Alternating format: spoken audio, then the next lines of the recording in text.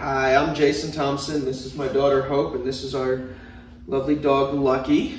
And uh, we brought her to Bulletproof. I'd heard some great things from my friend John, and she was in desperate need of some training. She was a puppy, but uh, they were amazing. They continued to send us videos, so we didn't miss her too much. And she was quick to learn, and they did an amazing job. And she's going home a, a trained dog, and I couldn't thank you guys enough. So thank you so much, and I definitely recommend Bulletproof Training.